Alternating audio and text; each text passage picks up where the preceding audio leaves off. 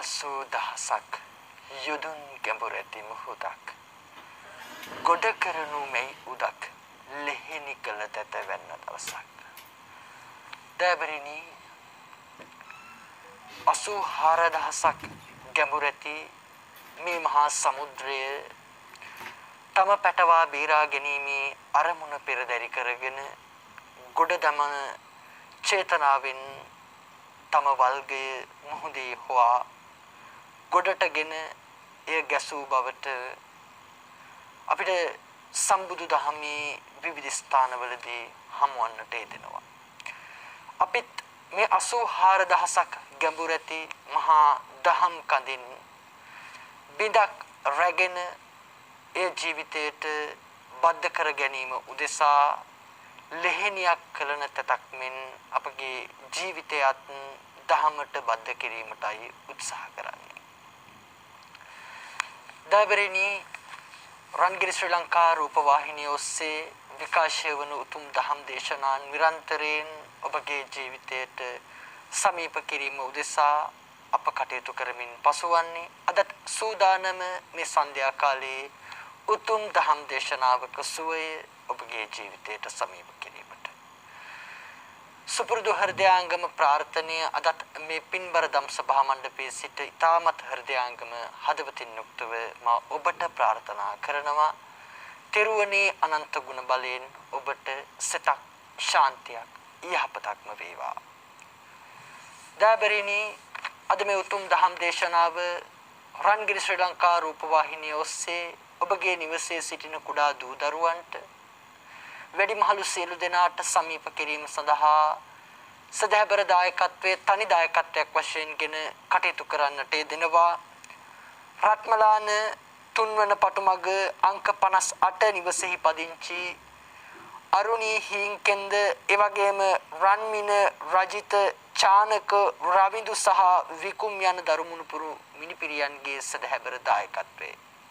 එම දායකත්වයේ යටතේ මේ උතුම් වූ දහම් දේශනාව අපට රන්ගිරි ශ්‍රී ලංකා රූපවාහිනිය ඔස්සේ ලෝකයේ සිටින අපේ ප්‍රේක්ෂක හිතයිසී ඔබට සමීප කිරීමට අවස්ථාව උදාවන්නේ. දාබරිනී මේ පිරිස මේ උතුම් දහම් දේශනාව සඳහා සදහැබර දායකත්වයේ දරමින් කටයුතු කරන්නට යෙදෙන්නේ මහනුවර අම්පිටිය පදිංචි ජයන්ත උඩුකුඹුර එවැගේම නිර්මලා උඩුකුඹර යන ආදරණීය දෙමාපියන්ගේ ජන්මදිනය නිමිති කොටගෙන ඒ දෙපළට කායික මානසික සුවය පිරි නිදුක් නිරෝගී සුවය දීර්ඝාෂ ලබන්නටත් වාසනාවන්ත ජීවිතයක් ගෙවන්නට හැකි වේවා කියන උදාාරතර ප්‍රාර්ථනයත්. එවැගේම සියලු දරුවන්ට ධර්ම ශ්‍රවණය කරන අපේ රන්ගිරි ශ්‍රී ලංකා රූපවාහිනියේ ලක්ෂ සංඛ්‍යාත ප්‍රේක්ෂක හිතවතුන් සියලු දෙනාට සෞභාග්‍ය උදා වේවායි නමින් මියගිය සියලු ඥාතීන්ට පින් අනුමෝදන් කොට නිවන් සුවය ප්‍රාර්ථනා කිරීම කියන උදාරතර පැතුම මුදුන්පත් කරගෙනයි අද මේ උතුම් දහම් දේශනාවෙහි සදහැබර දායකත්වයේ ලබා ගන්න කටයුතු කරන්නේ.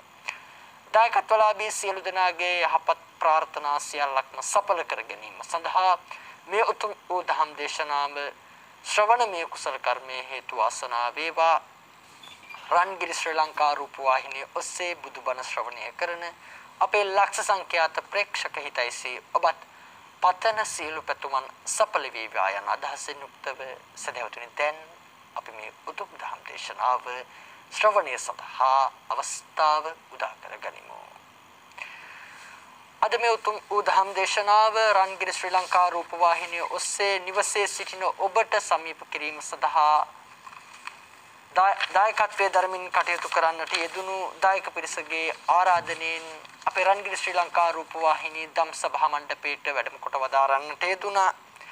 මහනුවර පිළිමතලාව ලැබු වැල්පොළ ත්‍රිපිටක ධර්මායතන මහපිරිවෙනෙහි පරිවෙනාධිපති විහාරාධිකාරී පූජ්‍යපාද බඹරගහ ඇල විමල බුද්ධි අපේ ගෞරවනීය ස්වාමීන් වහන්සේ. ගෞරවනීය ස්වාමීන් වහන්සේ සදහවතුනි අපේ ධම් සභා මණ්ඩපයේට ප්‍රථම වශයෙන් පිළිගැනීමට සදහැසිට පෙරටු කරගෙන අප සියලු දෙනා එකට වී සාදුකාරයක් පවත්වමු. සාදු සාදු සාදු. එසේනම් ධර්ම ශ්‍රවණයට මත් මොහොතෙන් අප සියලු දෙනා තිසරණ සහිත පංචශීලයේ සමාදන් වීමට නැවත වතාවක් සාදුකාරයක් පවත්වමින් নমස්කාරය කිමු සාදු සාදු සාදු. අවසරයි ස්වාමීන් වහන්සේ. නමෝ තස් භගවතෝ අරහතෝ සම්මා සම්බුද්දස්ස.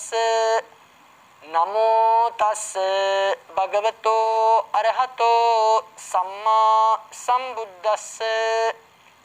නමෝ තස් භගවතෝ අරහතෝ සම්මා සම්බුද්දස්ස. බුද්ධං සරණං ගච්ඡාමි. බුද්ධං සරණං ගච්ඡාමි. ධම්මං සරණං ගච්ඡාමි ධම්මං සරණං ගච්ඡාමි සංඝං සරණං ගච්ඡාමි සංඝං සරණං ගච්ඡාමි ဒ ුතියම්පි බුද්ධං සරණං ගච්ඡාමි ဒ ුතියම්පි බුද්ධං සරණං ගච්ඡාමි ဒ ුතියම්පි ධම්මං සරණං ගච්ඡාමි ဒ ුතියම්පි ධම්මං සරණං ගච්ඡාමි ဒ ුතියම්පි සංඝං සරණං ගච්ඡාමි ဒ ුතියම්පි සංඝං සරණං ගච්ඡාමි තතියම්පි බුද්ධං සරණං ගච්ඡාමි තතියම්පි බුද්ධං සරණං ගච්ඡාමි। තතියම්පි ධම්මං සරණං ගච්ඡාමි। තතියම්පි ධම්මං සරණං ගච්ඡාමි। තතියම්පි සංඝං සරණං ගච්ඡාමි තතියම්පි සංඝං සරණං ගච්ඡාමි। සරණාගමනං සම්පුන්නං।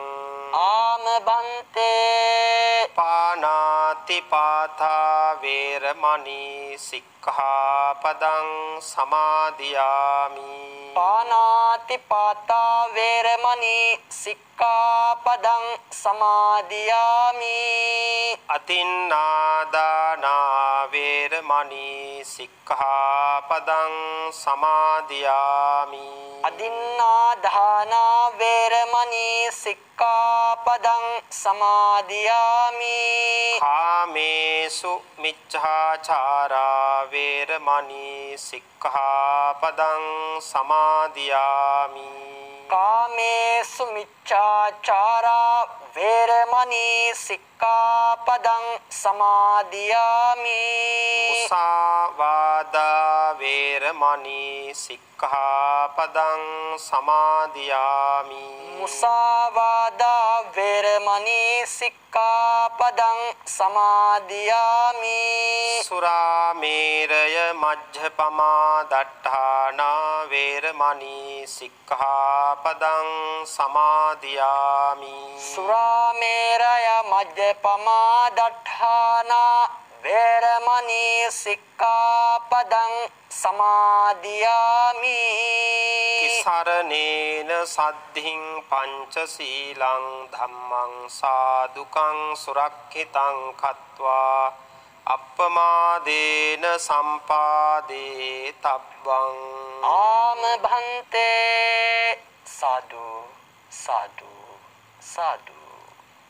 සමන්තා චක්ඛවාලේසු අත්‍රා ගච්ඡන්තු දේවතා සද්ධම්මං මුනි රාජස්ස සුනන්තු සග්ග මොක්ඛදං ධම්මස්සවන කාලෝ අයම් බදන්තා ධම්මස්සවන කාලෝ අයම් බදන්තා ධම්මස්සවන කාලෝ අයං බදන්තා සාදු සාදු සාදු නමෝ තස්ස භගවතෝ අරහතෝ සම්මා සම්බුද්දස්ස නමෝ තස්ස භගවතෝ අරහතෝ සම්මා සම්බුද්දස්ස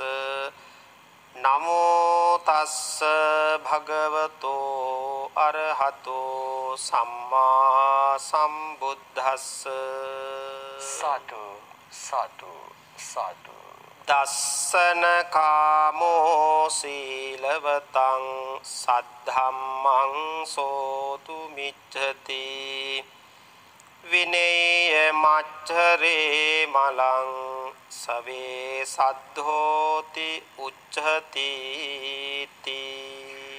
සාදු සාදු සාදු පූජනීය මහා සංඝරත්නයන් අවසරයි ශ්‍රද්ධහා සම්පන්න පිංගුතුනි අද මේ රංගිරි ශ්‍රී ලංකා මාධ්‍ය ජාලය තුලින් ලෝපුරා විකාශනය කරන මේ උතුම් සද්ධර්ම දේශනාවේ උතුම් දායකත්වය බහරගෙන කටයුතු කරන අපේ ශ්‍රද්ධා සම්පන්න දායක පින්වතුන් ප්‍රධාන මේ උතුම් ධර්ම දේශනාව ශ්‍රවණය කරන ලෝවාසී බෞද්ධ පින්වතුනි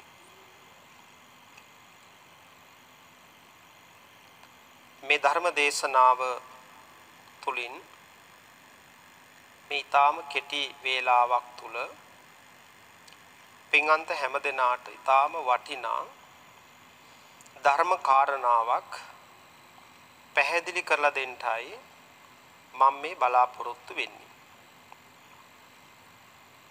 පින්වතුනි අද මේ මාතෘකාව තුළින්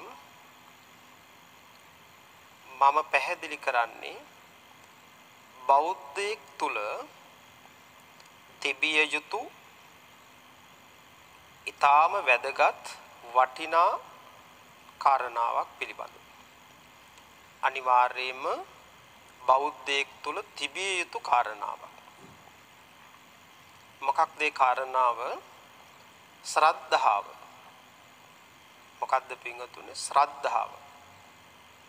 මේ ශ්‍රද්ධාව කියන වචනය අපේ පින්වතුන් අහලා තියෙන හැමදාමත් අහන වචනයක්. අපි ශ්‍රද්ධාවන්ත පින්වතුන් කියලයි කියන්නේ. මේ ධර්ම දේශනාව ආරම්භ කරන්න කලින් පින්වතුන්ලා ආමන්ත්‍රණය කළෙත් මම ශ්‍රද්ධාවන්ත පින්වතුන් කියලා. ශ්‍රද්ධාව තියෙන අයට ශ්‍රද්ධාව තියෙන ඇත්තන්ට අපි කියන්නේ ශ්‍රද්ධාවන්ත පින්වතුන් කියලා. පින්වතුනි ශ්‍රද්ධාව කියන වචනේත් භක්තිය කියන වචනේත් අතර ලොකු වෙනසක් තියෙන බව අපි අවබෝධ කරගන්න ඕන. සමහර විට අපි ආමන්ත්‍රණය කරන ශ්‍රද්ධාවන්ත පින්වතුන් ශ්‍රද්ධාවන්ත බෞද්ධ පින්වතුන් භක්තිවන්ත බෞද්ධ පින්වතුන් කියලා ආමන්ත්‍රණය කරනවා. නමුත් ශ්‍රද්ධාව සහ භක්තිය කියන මේ වචන දෙකේ ලොකු වෙනසක් තියෙන බව පැහැදිලිව අවබෝධ කරගන්න ඕන. භක්තිය කියන්නේ මොකක්ද කියලා අපි තාම කෙටියෙන් කතා කරමු. භක්තිවන්ත කියන එක භක්තිය කියන වචනේ පිංගුතුනි යම්කිසි නියෝගයකට යටත්ව බයපක්ෂපාතීව යම්කිසි කාරණාවක් පිළිගැනීම ඒ සඳහා අනුගත වීම මේ භක්තිය කියන වචනෙන් පැහැදිලි කරනවා. වෙනත් ආගම්වල අපි බැතිමතුන් කියලා කතා කරනවා. කවදාවත් බෞද්ධයන්ට අපි බැතිමතුන් කියලා කියන්නේ නැහැ. ඒක අපේ පින්වතුන් අවබෝධ කරගන්න ඕන. බැතිමතුන් කියන්නේ ශ්‍රද්ධාවන්ත පින්වතුන්ට වඩා වෙනස් වචනයක්. දේවවාදී ආගම්වල භක්තිවන්තය පිරිස් නැත්නම් බැතිමුතුන් කියන වචනේ තමයි පැහැදිලි වෙන්නේ. එතකොට බෞද්ධයන් අතර භක්තිවන්ත සම්ප්‍රදායක් ඇත්තේ නැහැ. බෞද්ධයන් තුල තිබෙන්නේ මොකක්ද? ශ්‍රද්ධාව. එතකොට ශ්‍රද්ධාවන්ත බෞද්ධයින් කියලායි අපි ආමන්ත්‍රණය කරන්නේ. ඒ නිසා මේ ශ්‍රද්ධාව සහ භක්තිය කියන අතර මේ තියෙන වෙනස අපි අවබෝධ කරගෙන කටයුතු කරන්නට ඕන. එතකොට පින්වතුනි අපි ශ්‍රද්ධා සම්පන්න පිරිසක්නේ. අපි බෞද්ධයන් නිසා අපි ශ්‍රද්ධාවන්ත පිරිසක්. දැන් අපේ පින්වතුන් පෞද්ගලිකව බුද්ධිමත්ව කල්පනා කරලා බලන්න අපි ශ්‍රද්ධාවන්ත පිරිසක්ද කියලා.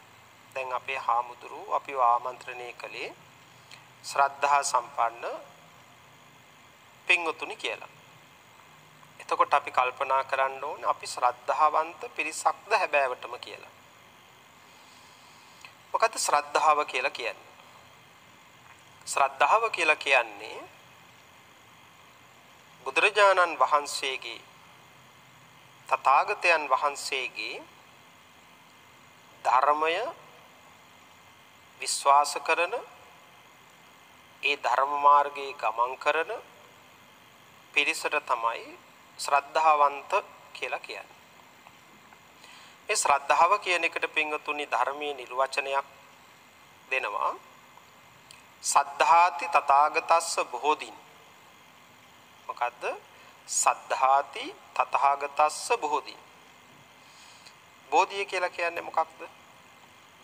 බෝධිය ශ්‍රී මා බෝධිය නෙමෙයි. බෝධිය කියලා කියන්නේ අවබෝධයට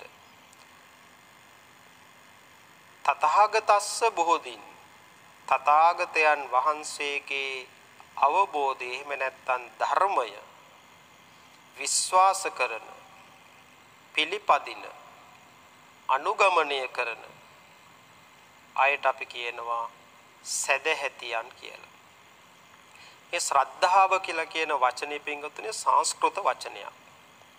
මේක පාලියට එනකොට සද්ධා සිංහලට එනකොට සැදැහැති කියන තේරුම තමයි එන්නේ. බුදුරජාණන් වහන්සේ ශ්‍රද්ධාවන්තයාගේ ලක්ෂණයක් හැටියට පැහැදිලි කරනවා මොකක්ද ශ්‍රද්ධාවන්තයාගේ ස්වභාවය තමයි ධර්මය නිසි ලෙස අවබෝධ කරගත්ත කෙනා කියන එක. බුදුරජාණන් වහන්සේගේ සද්ධර්මය නිසි ලෙස අවබෝධ කරගත්ත කෙනා ශ්‍රද්ධාවන්තයා. දැන් පිංගතුනි මේ ශ්‍රද්ධාව කියන වචනයට අපිට කියන්න පුළුවන් පැහැදීම කියන අර්ථයක් දෙන්න පුළුවන්. එතකොට අපි යම් දෙයකට පැහැදෙන්නේ කොමන හේතුවක් නිසාද? යම් කිසි දෙයකට පැහැදෙන්නේ කොමන හේතුවක් නිසාද? අපි බාහිරින් යමක් දැක්ක පමණින්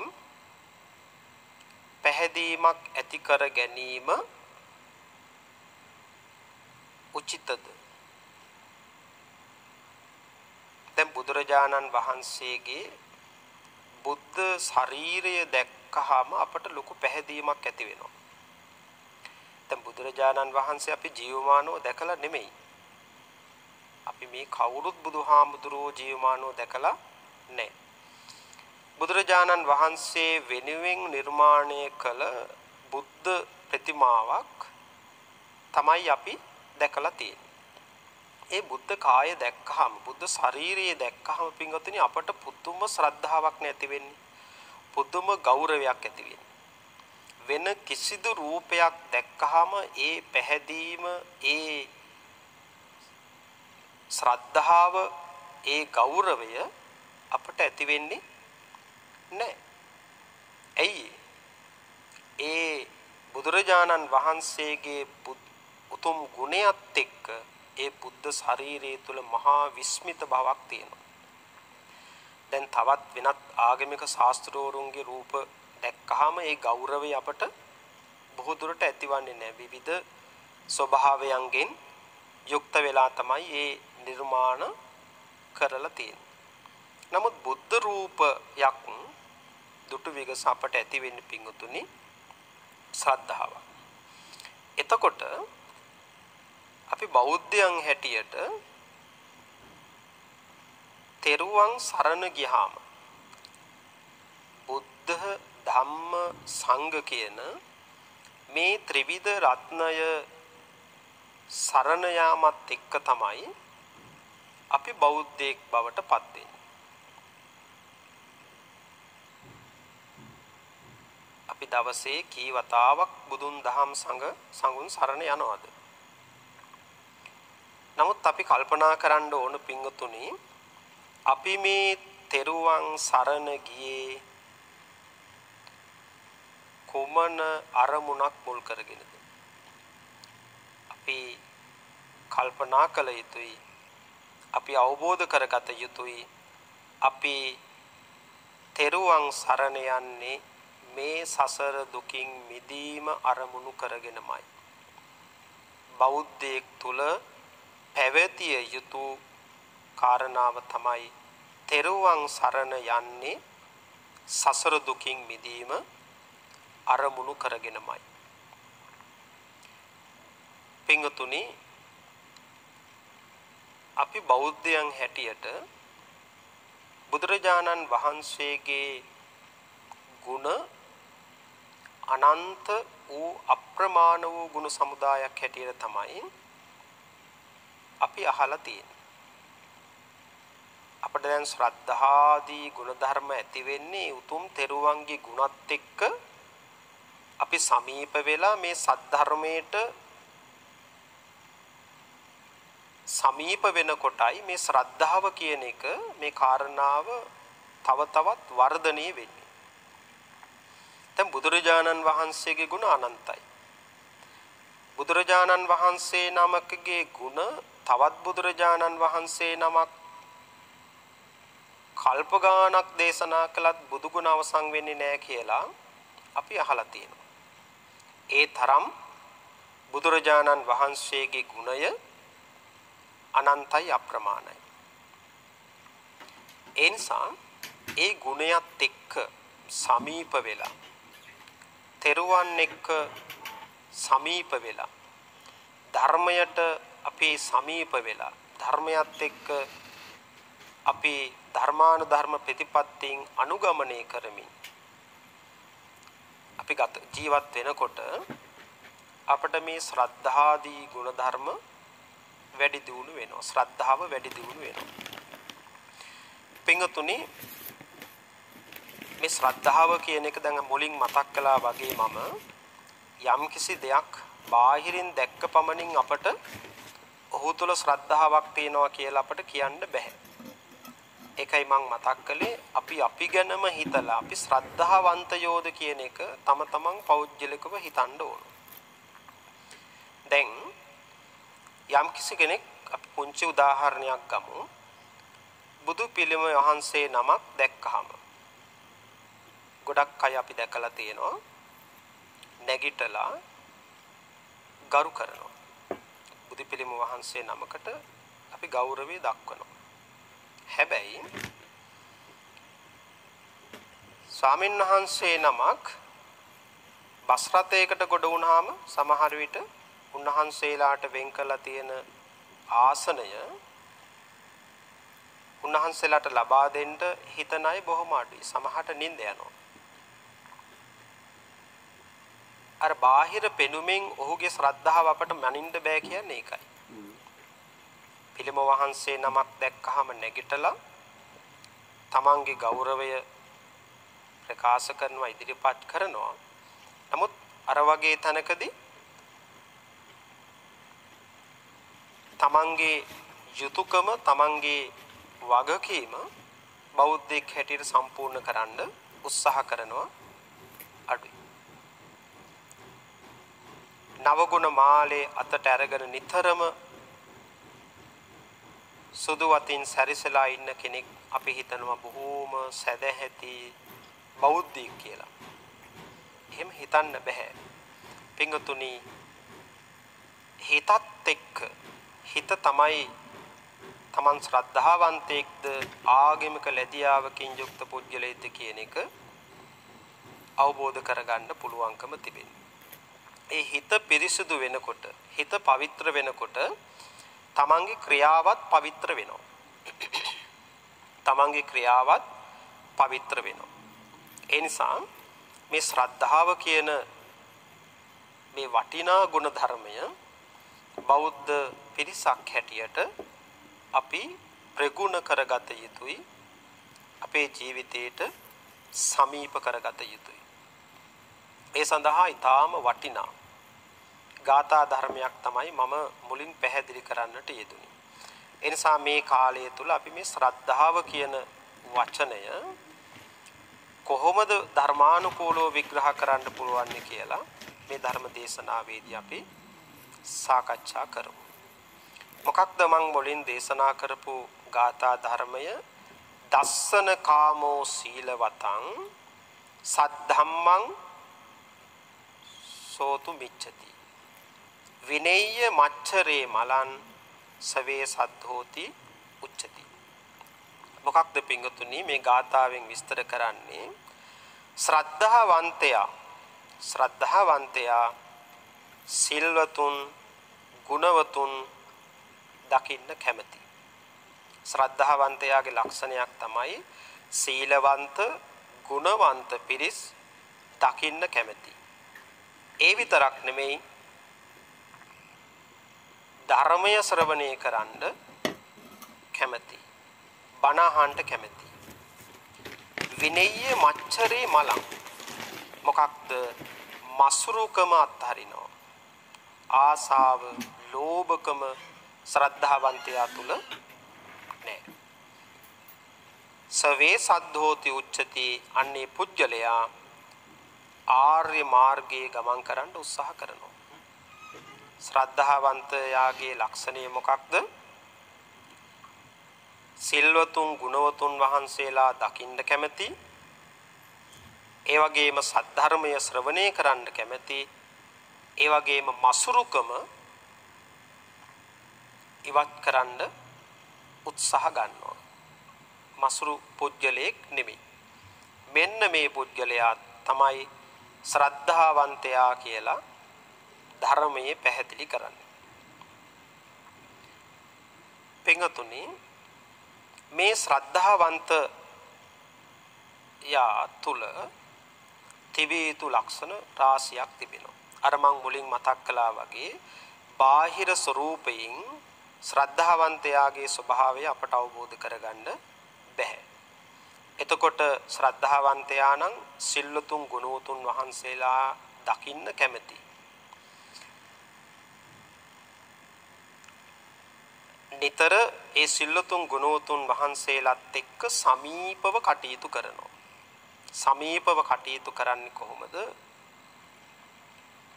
ධර්මය හදා බෙදා ගනිමින් නොදන්නා ධර්ම කරුණු ඉගෙනගෙන තව තවත් ධර්මය වැඩි දියුණු කරගෙන තමන්ගේ ජීවිතය ධර්මානුධර්ම ප්‍රතිපත්තීන් එක්ක ජීවිතය ගතකරනද උත්සාහ කරනවා ශ්‍රද්ධාවන්තයා නිතර බණ අහනවා. බණ අහන්න කැමති. බණ අහන්නේ ඊටාම ශ්‍රද්ධාවෙන්, පැහැදීමෙන්. තෙරුවන් කෙරෙහි අප්‍රමාණ පැහැදීමක් ඇති කරගෙන තමයි ඒ ධර්මය ශ්‍රවණය කරන්නේ. පිංගතුනි මේ ශ්‍රද්ධාවේ කොටස් දෙකක් තියෙනවා ප්‍රධාන වශයෙන්. එකක් තමයි අමූලිකා ශ්‍රද්ධාව අනිත් ශ්‍රද්ධාව තමයි ආකාරවතී ශ්‍රද්ධාව. අමූලිකා ශ්‍රද්ධාව කියලා කියන්නේ. අමූලිකා ශ්‍රද්ධාව කියලා කියන්නේ පිංගුතුනි ප්‍රඥාවන්තකමින් තොර වූ ශ්‍රද්ධාව. ප්‍රඥාවන්තකමින් තොර වූ ශ්‍රද්ධාව. අමෝලිකා ශ්‍රද්ධාව තියෙන පුද්ගලයාගේ බාහිර පැවැත්ම විතරයි ශ්‍රද්ධාවන්තයෙක් හැටියට කටයුතු කරන්නේ. සමාජයේ සාමාන්‍ය සමාජයේ පිංගුතුනි අපට දකින්න ලැබෙන ඒ වගේ ශ්‍රද්ධාවන්තයන්. ස්වාමින් වහන්සේ නමක් දැක්කහම බොහෝම ගෞරවයෙන් හිස නමලා ආචාර කරලා කතා කරලා ගරු බුහුමන් දක්වනවා. සමහර විට එතනින් බැහැරට ගියාම ඔහුගේ ස්වභාවය වෙනස් වෙනවා. તો ශ්‍රද්ධ අමෝලිකා ශ්‍රද්ධාව තියෙන අයට ධර්මය අවබෝධ කරගන්න බෑ. අපේ සදැහැති උපාසකම්මලත් ඉන්නවා. ඒ වගේ අමෝලිකා ශ්‍රද්ධාවෙන් යුක්ත පිරිස්. පෙහෙරට ආපුවාම විහාර මන්දිරයට ගියාම සමහර විට බොහෝ ස්ථානවල අපි දකිනවා මල් ආසනයේ පහන් දල්වන්න එපා කියලා සමහර විට ලොකු බෝඩ් එකක් දාලා තේනවා පහන් දැල්වීමෙන් වළකින්න කියලා. එතකොට සමහර අපේ බෞද්ධ පිංගතුන් කරන්නේ එතනම පහන දල්වනවා. බුදුරජාණන් වහන්සේ වැඩ ඉන්නේ ස්ථානීය යම් කිසි කාරණාවක් හේතුවක් උඩ සමහර විට ඒක ඒ පහන් දැල්වීම කරන්න එපා කියලා කියලා තියෙන්නේ මතක් කරලා දීලා තියෙන්නේ. එතකොට අපි ශ්‍රද්ධාවන්තයෝ නම් ඒ නොකල යුතු කාරණාව කල යුතු නැහැ. ඒ වගේම අමූලිකා ශ්‍රද්ධාවෙන් පරිපූර්ණ වෙච්ච බොහෝ අය ධර්මය නිසිලෙස අවබෝධ කරගන්නේ නැහැ. බාහිර පෙනුමට බණ අහනවා. ඒ වගේම නොඑක් විදිහේ පින්කම් කටයුතු වල යෙදෙනවා කියලා බාහිර ජනයාට පෙනෙන්න කටයුතු කරනවා. නමුත් ඔහු තුල අර නිසි ශ්‍රද්ධාව නිසි පැහැදීම ධර්මයේ පිළිබඳව ඇත්තේ නැහැ. එනිසා ඒ අයට නිවන ඊටාම දුරයි. එනිසා බාහිර ශ්‍රද්ධාව ශ්‍රද්ධාවෙන් අපට කෙනෙක්ගේ පැහැදීම අපට අවබෝධ කරගන්න බැහැ තේරුම් ගන්න බැහැ. සාමූලිකා ශ්‍රද්ධාවෙන් තොර පිරිසක් බවට අපිපත් වෙන්න ඕන. ତර ආකාරවතී ශ්‍රද්ධාව කියලා කියන්නේ මොකක්ද? ආකාරවතී ශ්‍රද්ධාව කියලා කියන්නේ පිංගුතුන් ප්‍රඥාවන්ත භාවයෙන් පරිපූර්ණ වූ ශ්‍රද්ධාවට. අවබෝධයෙන් පිරිපුන් ශ්‍රද්ධාවට තමයි ආකාරවතී ශ්‍රද්ධාව කියලා කියන්නේ. බුදුරජාණන් වහන්සේ එක් අවස්ථාවක ආනන්ද හාමුදුරුව බුදුරජාණන් වහන්සේට මතක් කරනවා භාග්‍යවත් බුදුරජාණන් වහන්සේ මේ උතුම් ශාසනයේ පවතින්නේ කල්යාණ මිත්‍රත්වයේ පදනම් කරගෙන නේද කියලා. හරි අඩක් මේ ශාසනයේ පවතින්නේ කල්යාණ මිත්‍රත්වයේ පදනම් කරගෙන නේද කියලා. ඒ වෙලාවේදී බුදුරජාණන් වහන්සේ ආනන්ද මහරහතන් වහන්සේ ආනන්ද තෙරුන් වහන්සේට එතකොට ආනන්ද හාමුදුරුවෝ රහත් වෙලා නැහනේ ආනන්ද තෙරුන් වහන්සේට අනුශාසනා කරනවා ආනන්ද එහෙම කියන්න එපා. හරි අඩක් නෙමෙයි මේ ශාසනය පවතින්නේ කල්යාණ මිත්‍රත්වයේ පදනම් කරගෙන. එහෙමනම් නිසි ශ්‍රද්ධාවන්තයා තමයි මේ ශාසනයේ කල්යාණ මිත්‍රයා. ඒ ශ්‍රද්ධාවන්ත පුද්ගලයා තමයි මේ ශාසනය ආරක්ෂා කරන්නේ. මේ ධර්මය නිසි ලෙස පිළිපදින්නේ අන්නේ ශ්‍රද්ධාවන්ත කල්යාණ මිත්‍රයා. එනිසා මේ ශාසනය ආරක්ෂා කරගන්න ඒ වගේම මේ ධර්මය අවබෝධ කරගෙන තමන්ගේ අරමුණ දක්වා ගමන් කරන්න උත්සාහ කරන්නේ අන්න අර ආකාරවතී ශ්‍රද්ධාවෙන් පරිපූර්ණ වෙච්ච පුද්ගලයා. එතකොට මේ ශ්‍රද්ධාව කියන එක පින්වතුනි ඇත්තටම බෞද්ධයන් හැටියට අපිට ධනයක්. ඊටාම වටිනා ධනයක්. අපි හොඳට අවබෝධ කරගන්න ඕන. ශ්‍රද්ධාව නැත්නම් පින්වතුනි කිසිම දෙයක් කරන්න බෑ. හොඳට අවබෝධ කරගන්න. ශ්‍රද්ධාව නැත්තම් කිසිම ආගමික පින්කමක් ධර්මය අවබෝධ කරගන්න නිවන් දැකීමේ මාර්ගය ආර්ය අෂ්ටාංගික මාර්ගයේ ඔස්සේ තමන්ගේ පරමාර්ථය දක්වා ගමන් කරන මේ ගමන පරිපූර්ණ කරගන්න සම්පූර්ණ කරගන්න පුළුවන්කමක් ඇත්තේ නැහැ ශ්‍රද්ධාව නැත්නම් ඒ නිසා බෞද්ධයන් හැටියට මේ ශ්‍රද්ධාව කියන එක වටිනා ධනයක් හැටියට අපි සලකන්න ඕන. ඒ ධනය අපේ මණිකක් හා සමානව ආභරණයක් හා සමාන කොට සලකාගෙන අපේ ජීවිතය අර්ථවත් වටිනා ජීවිතයක් බවට පත් කරගන්න උත්සාහ කරගන්න උත්සාහ කරන්න ඕන. එතකොට පින්වතුනි මේ ශ්‍රද්ධාවන්තයාට තමයි මේ ධර්මයෙන් නිසි ප්‍රයෝජනය ගන්න පුළුවන්. අර අමූලිකා ශ්‍රද්ධාවෙන් යුක්ත කෙනා මේ ධර්මයෙන් නිසි ප්‍රයෝජනය ගන්නෙ නැහැ. මේ ධර්මයෙන් නිසි ප්‍රයෝජනය ගන්නේ ආකාරවතී ශ්‍රද්ධාවෙන් පරිපූර්ණ වුණ පුද්ගලයා. පුංචි සරණ උදාහරණයක් මම කියන්නම්. දැන් සබන් කැටයක් සබන් කැටයක් ගත්තොත් ඒකෙන් ප්‍රයෝජන ගන්න පුළුවන්නේ මොන දේ තිබුණොත් දැන් සබන් කැටේ තිබුණ පමණින්ම ඒකෙන් ප්‍රයෝජන ගන්න බැහැනේ මොකක්ද සබන් කැටයක්කින් නිසි ප්‍රයෝජනය අපට ගන්න පුළුවන්නේ මොනව තිබුණොත්? සරල උදාහරණයක්. වතුර තිබුණොත්නේ. වතුර තිබුණොත් තමයි සබන් කැටෙන් ප්‍රයෝජන ගන්න පුළුවන්. වතුර නැත්නම් ඒකෙන් ප්‍රයෝජන ගන්න බෑ. එතකොට ධර්මයෙන් ප්‍රයෝජනය ගන්න පුළුවන්නේ කොහොමද? ශ්‍රද්ධාව තිබුණොත්. දැන් අද වර්තමානයේ තුල අපේ බෞද්ධයන්ට මේ ධර්ම මාර්ගයේ ගමන් කරන්නට අවශ්‍ය පරිසරය ලැබිලා තියෙනවා. එදා අපේ අතීතයේ මුතුන් මිත්තෝ බණ ටිකක් අහන්න මොනතරම් කාලයක් බලාගෙන හිටියද? අද එහෙම නැහැ.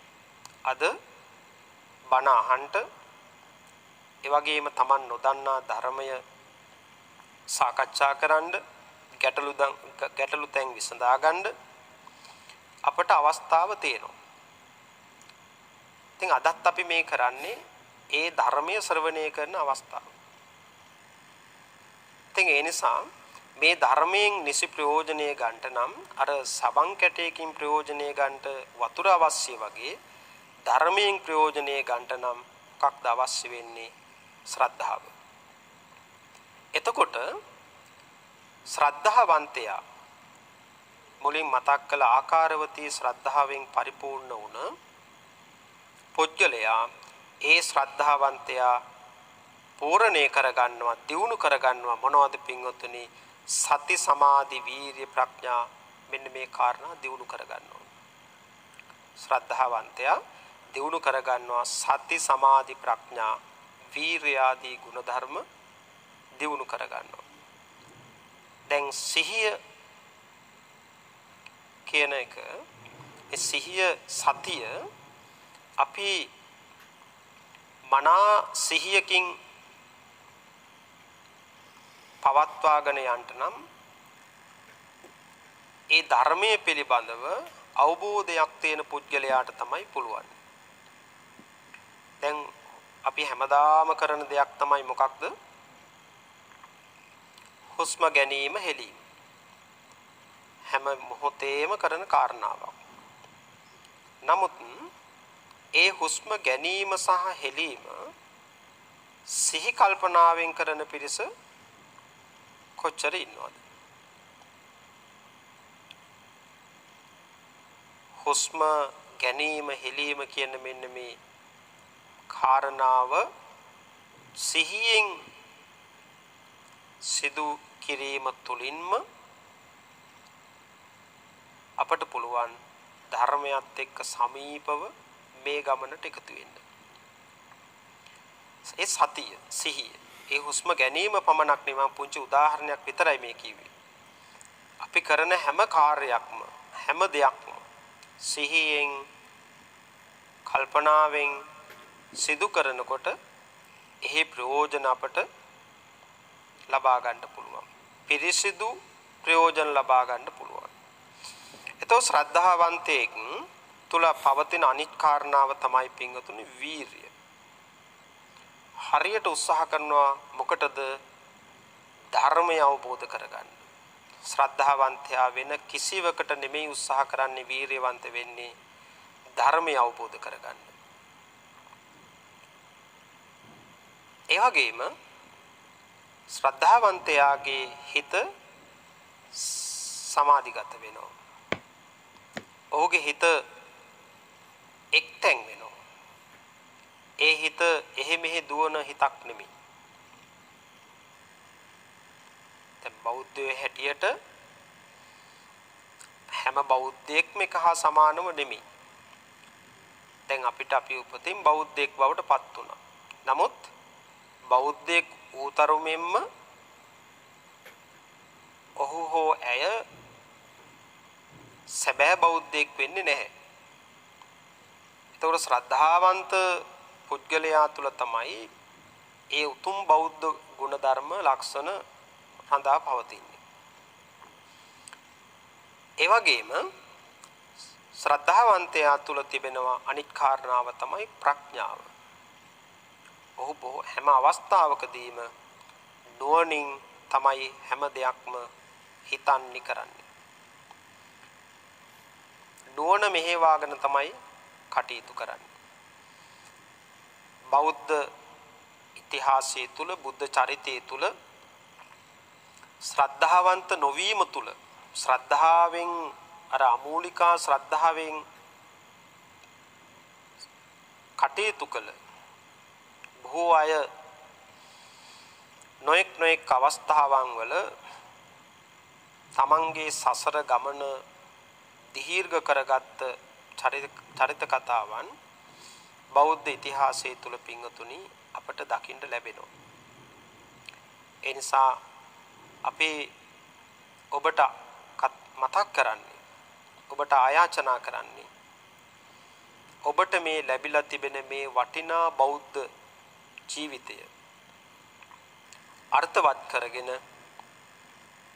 ඔබේ ජීවිතය සාර්ථක බෞද්ධ ජීවිතයක් බවට පත් කරගන්න. ඒ වගේම තමයි මේ ශ්‍රද්ධාවේ තවත් කාරණාවක් තියෙනවා පින්වතුනි චල ශ්‍රද්ධාව සහ අචල ශ්‍රද්ධාව කියන. මොකද්ද? චල ශ්‍රද්ධාව සහ අචල ශ්‍රද්ධාව. චල ශ්‍රද්ධාව සැලෙන ශ්‍රද්ධාව. එහෙම බෞද්ධයන් ඉන්නවා. ඒක නියම ශ්‍රද්ධාවක් නෙමෙයි. සමහර අය බොහෝම ශ්‍රද්ධාවෙන් ශ්‍රද්ධා සම්පන්නව කටයුතු කරනවා. නමුත් යම් යම් අවස්ථාවන් වල එයාගේ පැහැදීම නැති වෙනවා. ධර්මය හරියට අවබෝධ කරගත්ත කෙනෙක්ට මනවින් අවබෝධ කරගත්ත කෙනෙකුට ශ්‍රද්ධාව කියන එක නැති වෙන්නේ නැහැ.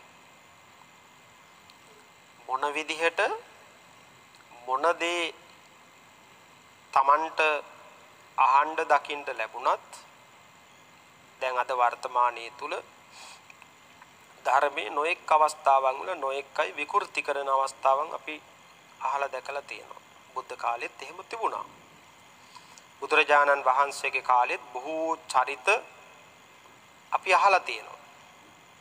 බුදුරජාණන් වහන්සේ කිසිවකට සැලුනේ නැහැ. උන්වහන්සේ ඒවට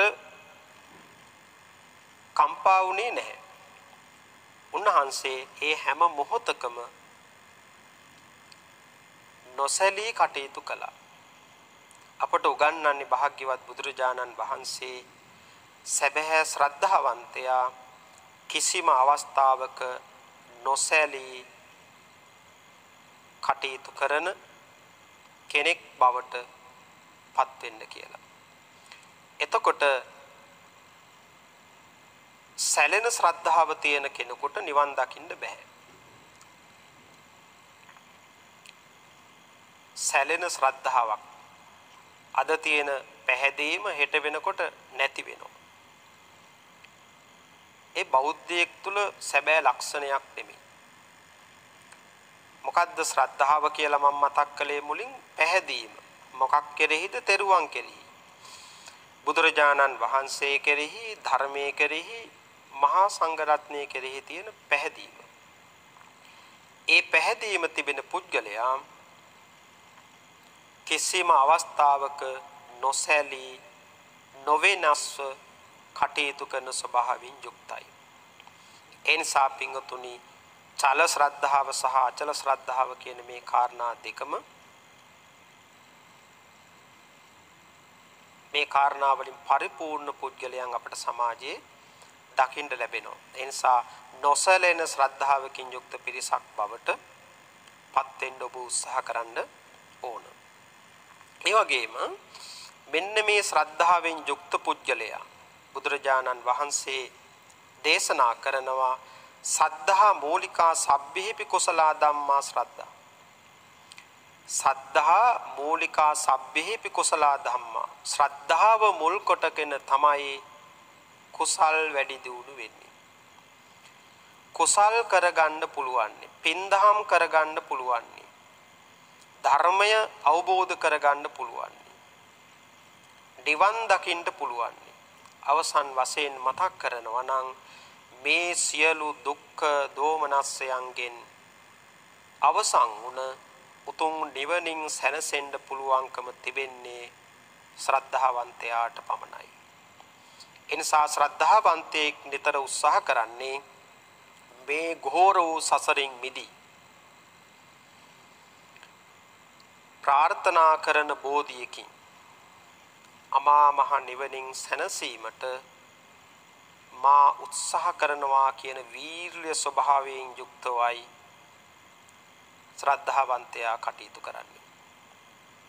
ඒ නිසා මේ කාරණාව මේ ධර්ම කරුණු ශ්‍රවණය කළ පින්වතුන් ඔබ හැමදෙනාම කල්පනා කරන්න මම ඒ වගේ ශ්‍රද්ධාවන්තයෙක් මම අමූලිකා ශ්‍රද්ධාවන්තයෙක්ද මම ආකාරවතී ශ්‍රද්ධාවන්තයෙක්ද?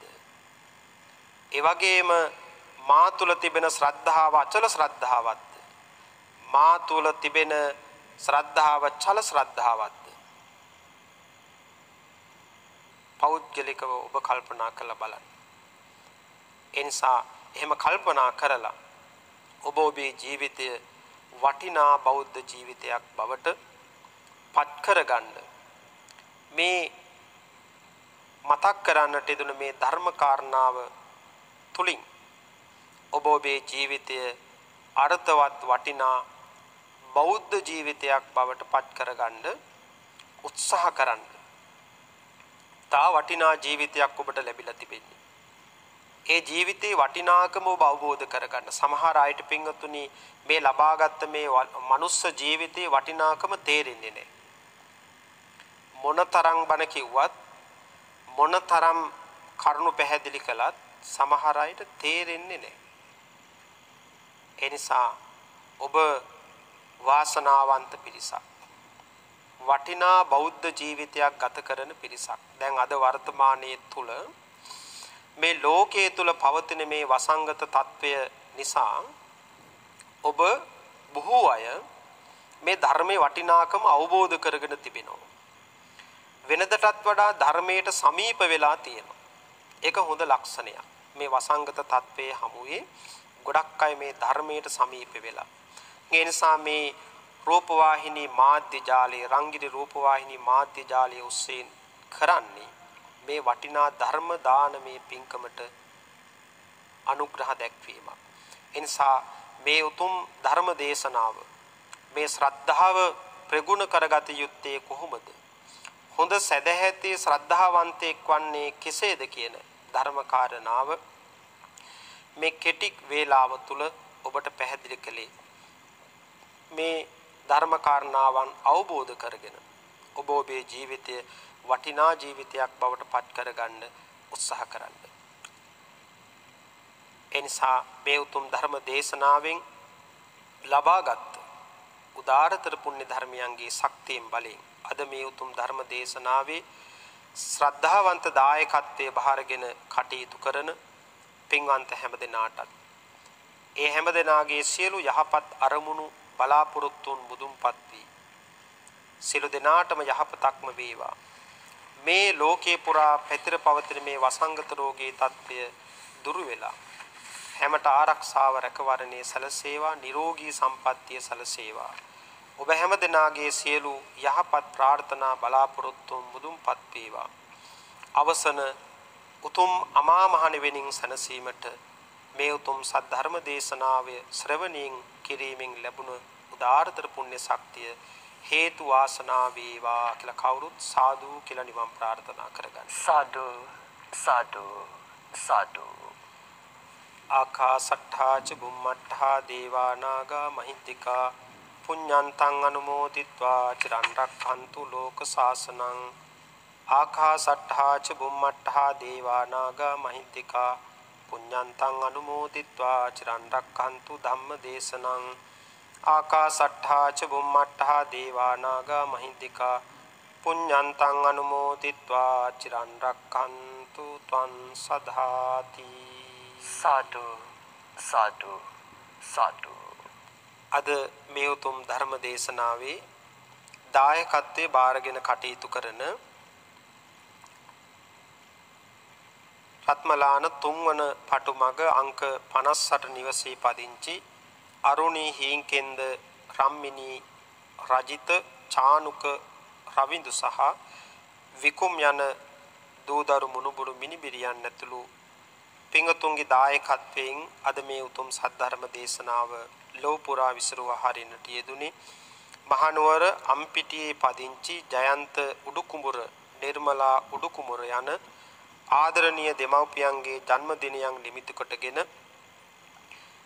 ඒ දෙපළට කායික මානසික සුවපිරි නිදුක් නිරෝගී සුවය දීර්ඝායුෂ ලබන්නටත් වාසනාවන්ත ජීවිත ගෙවන්නට හැකි වේවායි ප්‍රාර්ථනා කිරීම සඳහා සියලු දරුවන්ට ධර්ම ශ්‍රවණය කරන සැමට සතුට සෞභාග්‍ය උදා වේවා. මෙන්න මේ ප්‍රාර්ථනාවෙන් මියගිය සියලු ඥාතීන්ටත් පින් අනුමෝදන් කර නිවන් සුව ලැබේවායි ප්‍රාර්ථනා කිරීම. මේ උතුම් සද්ධර්ම දේශනාවේ දායකත්වයේ බහරගෙන ඒ අරමුණ ඇති කරගෙන කටයුතු කළ පින්වන්ත හැම දෙනාගේ සියලු ප්‍රාර්ථනාවන් මුදුන්පත් වී හැමට යහපතක්ම වේවා. හැමට නිරෝගී සම්පන්නිය සැලසේවා. උතුම් අමා මහ නිවනින් සැනසීමට මේ උතුම් ධර්ම දානමේ මහා පිංකම හේතු වාසනා වේවා කියලා අපි ප්‍රාර්ථනා කරමු. සාදු සාදු සාදු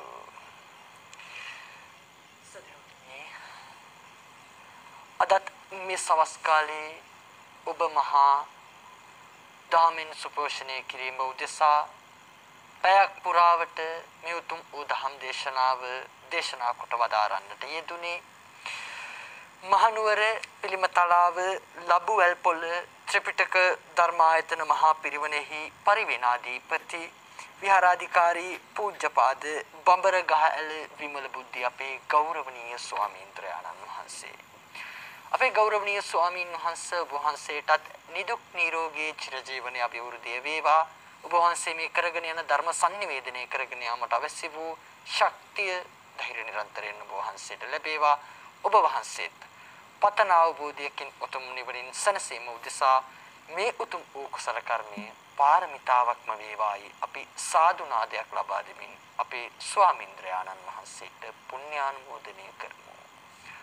සාදු සාදු සාදු.